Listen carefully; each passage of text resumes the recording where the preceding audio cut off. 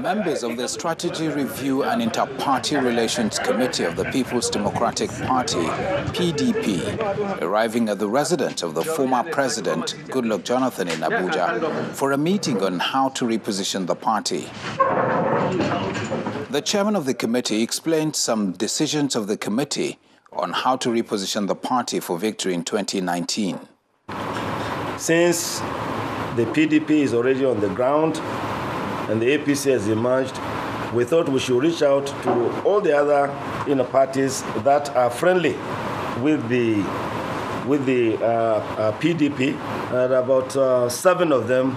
And uh, when we, we actually had a, a, meeting after submitting our report the other day, and uh, two or three more are willing to really come to us, National Conscience Party, and a few others. While commending the committee for the visit, the former president expresses confidence that the PDP will regain power at the center in 2019. Yes, we lost the presidency, but that does not diminish uh, PDP. And of course, every other party in Nigeria also know that PDP is still the number mm. one party. And uh, I think uh, losing the presidency is something temporary. We should be able to get that position back. The committee's next port of call is to the residences of the former national chairman of the party, Alhaji Bamanga Tukur, and Chief Tony Anenih, a founding member of the party.